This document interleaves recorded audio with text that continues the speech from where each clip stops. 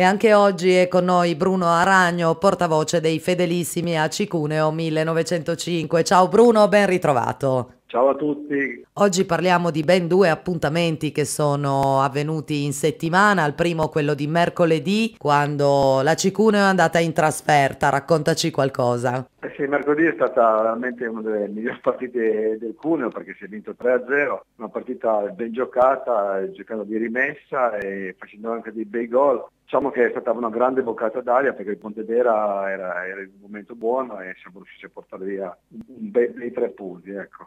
E poi, insomma, la partita di ieri, invece in casa, un pareggio. E diciamo che, che, ieri è stata una partita veramente difficile perché dopo di 8 minuti eravamo già in 10 uomini e un rigore contro, 1-0 per loro, poi nel secondo tempo c'è stato un rigore invece per noi sbagliato e poi all'ottantesimo una, una bellissima punizione di di Pellini, un po' alla, alla Pirlo ecco, di chi tempi e abbiamo pareggiato che tutto sommato giocando in 10 contro 11 è stato un gran bel risultato. Ecco. Sì, se si considera appunto la mancanza di un giocatore, un pareggio è accettabile. Bene, direi che questa settimana comunque le cose sono andate decisamente meglio e l'augurio è quello di proseguire su questi passi. Io ti do appuntamento alla prossima settimana. La prossima settimana avremo due, due trasferte di fila, eh? giocheremo prima ad Arezzo e poi poi a Viterbo in trasferta di solito andiamo sempre meglio, perciò speriamo di portare a casa ancora qualche punto. Col fatto che le trasferte portano bene, ci sentiamo la prossima settimana, a presto. Eh, grazie e buona giornata.